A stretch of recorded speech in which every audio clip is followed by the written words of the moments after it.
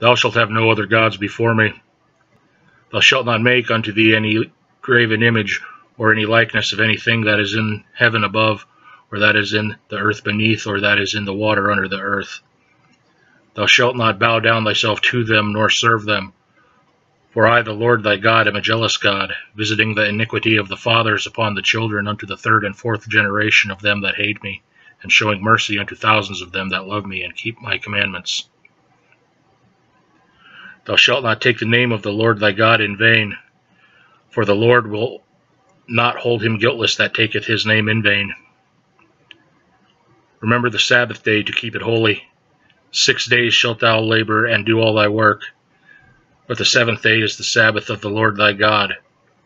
In it thou shalt not do any work, thou, nor thy son, nor thy daughter, thy manservant, nor thy maidservant, nor thy cattle, nor thy stranger that is within thy gates for in six days the Lord made heaven and earth, the sea, and all that in them is, and rested the seventh day. Wherefore the Lord blessed the Sabbath day and hallowed it.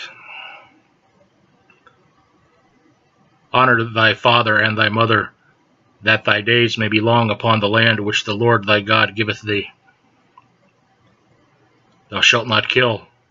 Thou shalt not commit adultery. Thou shalt not steal. Thou shalt not bear false witness against thy neighbor. Thou shalt not covet thy neighbor's house. Thou shalt not covet thy neighbor's wife, nor his manservant, nor his maidservant, nor his ox, nor his ass, nor anything that is thy neighbor's.